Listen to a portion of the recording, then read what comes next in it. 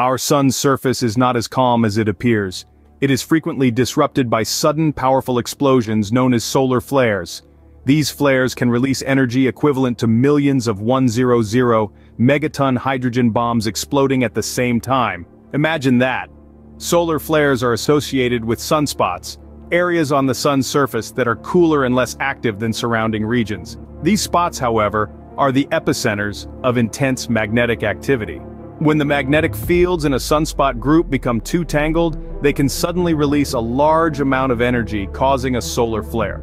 This energy, when directed towards Earth, can interact with our planet's magnetic field and atmosphere, causing geomagnetic storms. These storms can lead to phenomena such as the northern and southern lights, also known as auroras. So, the next time you witness the mesmerizing dance of colors in the sky, remember, it might have been sparked by a solar flare from our spinning sun. Like and subscribe.